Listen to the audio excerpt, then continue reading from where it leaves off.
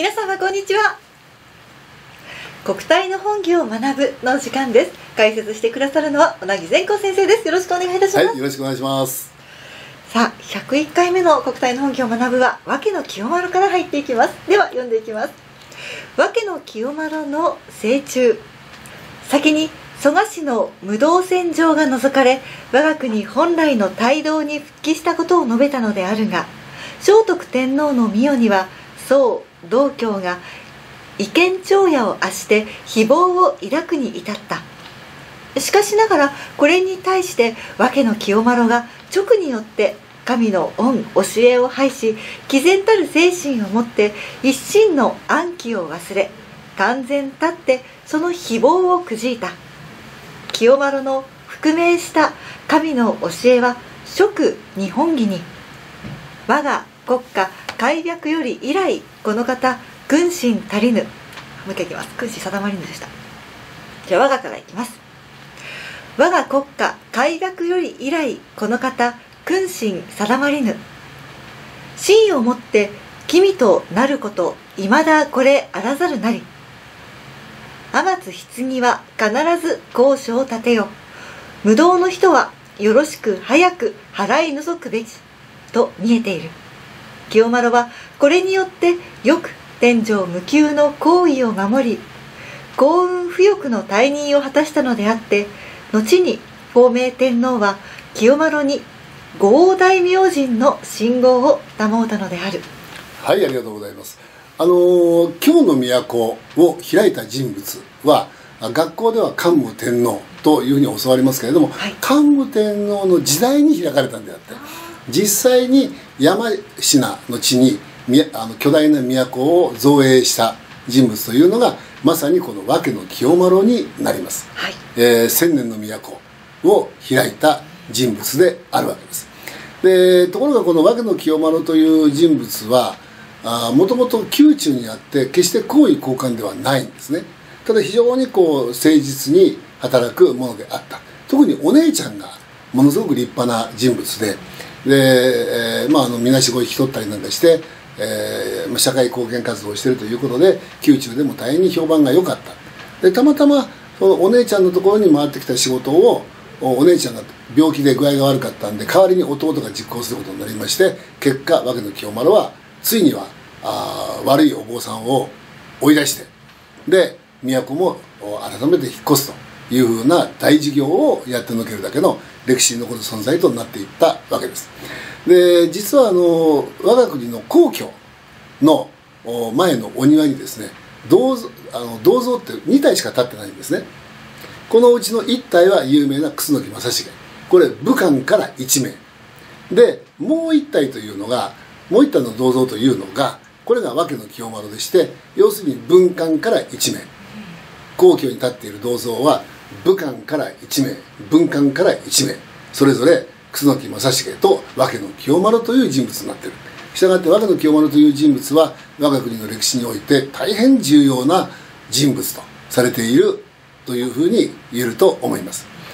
で、まあ、この本日の本文なんですが、はい、先に蘇我氏の無道戦場が除かれてまあすごい言葉なんですが、はい、あのもう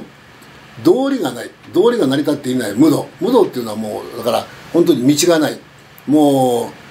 う本来ならばまっすぐに道を歩いていかなくちゃいけないのにもうこう平気で近道しちゃうみたいな あそういうもうもう道がないよと。俺の歩くところが道なんだといったような、まあ、そういうふうな考え方をしそして戦場というのはあ密かに上になってる。という言葉ないう言葉になります、えー、どういうことかというと、はい、実はあの、まあ、蘇我氏が全盛期の頃なんですけれども都の往来で、えー、まあ身分の高い人はみんな牛車といいまして牛が引く車に乗っかってるわけですね。でこのご皇族の牛車が向こうからやってくる。こちらから蘇我氏の牛車がやってくる。でそうすると本来は身分の低いものものの方が道を譲らなければならないんですね。だから蘇我氏が道を譲ってご皇族がしずしずとその正面を通っていく。ということになるはずだったんですがなんと蘇我氏があ力を持っていた時代ご皇族の側が道を避けて、はい、蘇我氏が堂々と往来の真ん中を通っていくといったようなぐらいまでの状況になっていましただから、まあ、ある意味、まあ、蘇我氏というのはやりすぎた。決して社会的な地位身分というのは天皇よりも偉いというふうにはなってはいないんだけれども実際事実上天皇よりも上なんだということを行動として示していたから戦場という、はい、密かに上になっていた。上を自称しているという言葉になってるわけです。だからもう本当にそれはもう無道だと。本来の道理を外れてるんですよということで無道戦場その蘇我氏の無道戦場が除かれて我が国本来の態度に復帰したことを述べたっていうのがこれ前回までですね、はい、でところが聖徳天皇これ女性の天皇です。え女性は神様と直接つながることができるということで女性の天皇がご皇位に就かれるということになったんですけれども、はい、ところがあ大変優秀なイケメンのお坊さんの道教という若くてイケメンで頭が良くてでしかもあの神通力を持ってるという、まあ、そんなお坊さんがいましてえたまたまあのと聖徳天皇が、えー、具合が具合を悪くして寝込んだ時にアダブラカタブラとやって病気をいっぺんに治してくれた。あらこのお坊さんすごいわってことになってで非常にあのこう、まあ、常に道教をおそばに置くようになるわけですね。でそうなってくると、まあ、当然天皇に最も近いお坊さんということになってきますので仏教界の中ではいつの間にやら若い若くてイケメンの道道教が大物扱いとなっていきましてまた道教に頼めば何でも政治的な要求も通してもらえるということになってくるので次第に事実上道教が政治の中心者責任者のようになっていきます。で、えー、それによってついに道教はあ意見その威力権力の権力の威力が長夜を圧してつまり、えー、天皇が治めている全ての国民に、えー、行きわ、行き渡ってそして全ての政治権力者よりも上位に立ってでついに誹謗を抱くに至った。誹謗あのこの誹謗って何かというと俺が天皇になる、うん、俺が天皇になる、まあ、これは方法はな2つあってな。1つはなわしがあと聖徳天皇の旦那になる、うん。ででもそその聖徳天皇のと結婚して俺が旦那になっちまうとなぜまずいかというと結婚したら行為を外れなければならない。そしたらそしたら元天皇の旦那にしかならない。こんなのは面白くない。だったら聖徳天聖徳天皇からわしに行為を譲ってもらおうではないか。そうすれば世の中は丸く収まるのじゃ。我が法力をもってこの世のこの世を丸く収めて信ぜようみたいなことを言い出すわけです。で、えー、っとついには宇佐八幡宇佐八幡宮というのはこれは大分にあって大神天皇をお祭りしてるわけなんですけどもこの宇佐八幡からのご神託で、えー、道教を行為につけるべしというご神託が下ったってわけですよ。なわけねえだろうと。自分で言ったってことですか？自分で言ったってことですか？そう。道教が。自分で、えー、その宇佐八幡宮の八幡様が俺をこう俺を天皇にしろとそういうふうに言ってきた、うん、いやそれ誠でございます。わしの夢に出てきたのじゃ。それはなそれはあなたの夢なんか誰も分かんないですからね。他に何かあったんですか？おお前はわしの言うことが聞けんのか？みたいな調子になるわけですよ。でこれはまずいなっていうことででまあもう一度改めて、宇佐八幡にその神様のご真意を確認させに行こうじゃないかっていうことで実はあ和家の清丸のお姉ちゃん広虫というんですけどもこの広虫に、えー、行ってもらえまいか。あの当時はすでに出家して宝金と名乗る尼さんだったんですね。だから尼さんに、えー、九州まで行ってもらおうと思ったんですが病気で具合が悪い。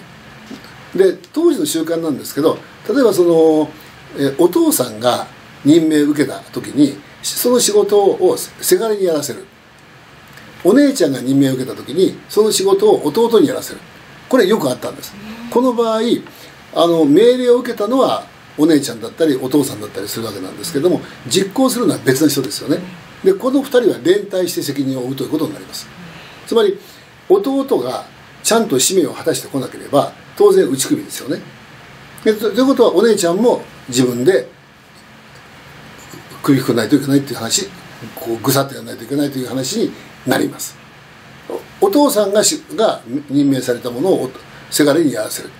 せがれはそれを何が何でも実現しなければ自分の親父が殺されるっていう話になるわけです。そういう意味で連帯債務という言葉がありますけどもこの連帯債務というのいうこという概念は何も西洋から輸入したものではなくて日本にはもともとこういう時代からあったものということになるわけですね。で、えー、まあそんなわけで訳の清丸が宇佐八幡宮まで行きまして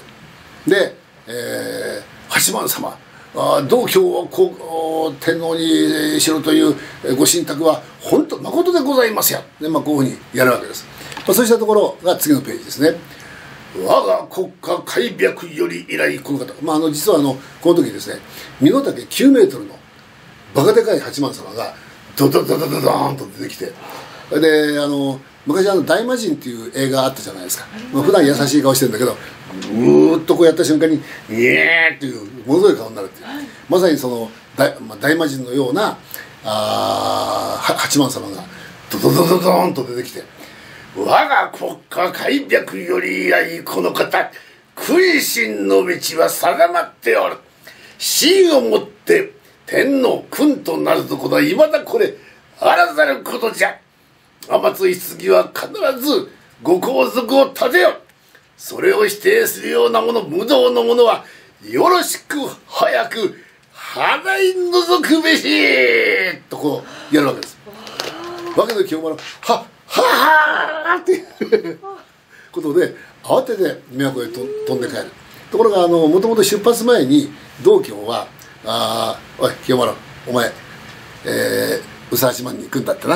は行ってまいります。お前お前なわしにいい返事を持ってきたらな。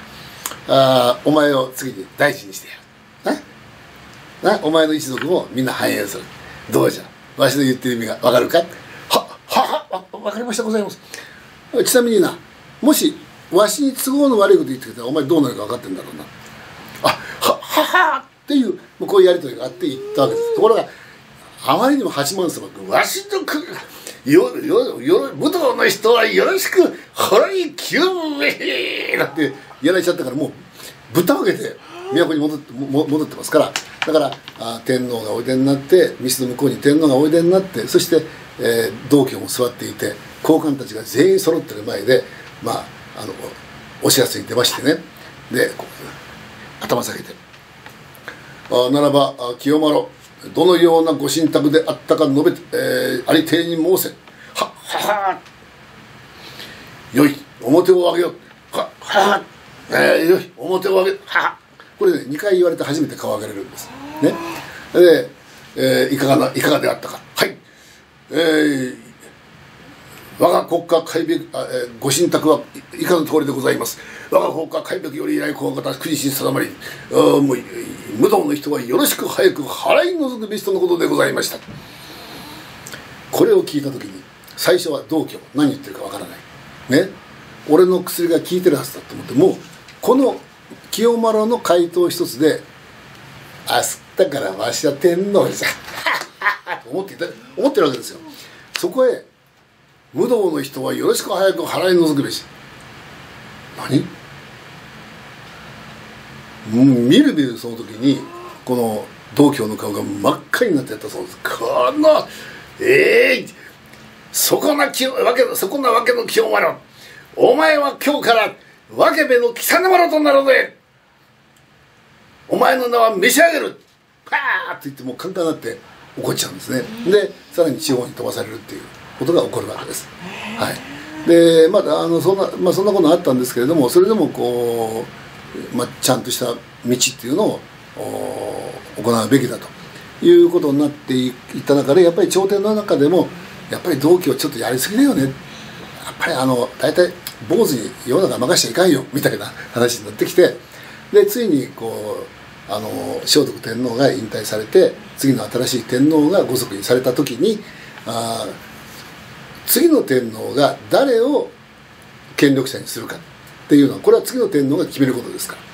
この次の天皇は道教を中央から取り除いて地方に移動しちゃうんです、で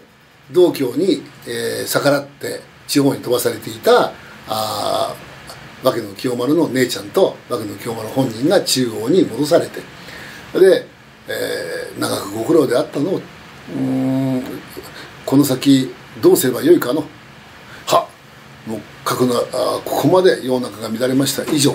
都は遷とすべきと存じます。もうよし。分かった。ならばその都の新しい都の場所をどこにしたらいいか。またどのような都を作ったらよいのか。それ全てお前に任せる。好きにやってよい。みたいなことになりまして清丸は今の京都のある場所山城に都を造営したという流れになるわけです。そうだったんですか、はい、ちなみにあのこの和の清丸のお墓のあるお寺さんが神護寺って言いまして、はい、京都のちょっと外れにあります、えー、ここはあ日本一の紅葉の名所になります。はい。